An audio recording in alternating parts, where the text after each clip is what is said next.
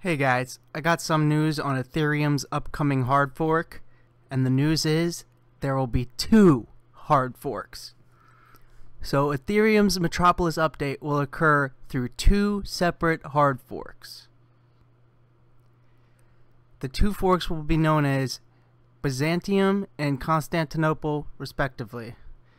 Byzantium hard fork will go into effect as planned by the end of September.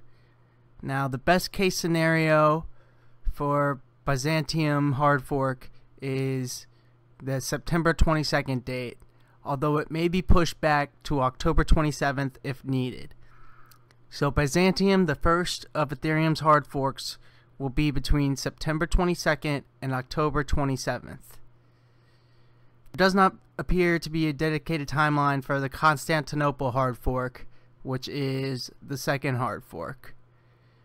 So the news on the Ethereum hard fork is it's not going to be just one, it's going to be two hard forks.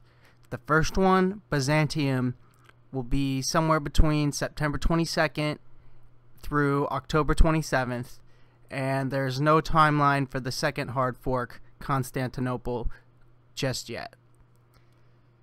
That's going to do it for this video. Thanks for watching. I'll see you on the next one.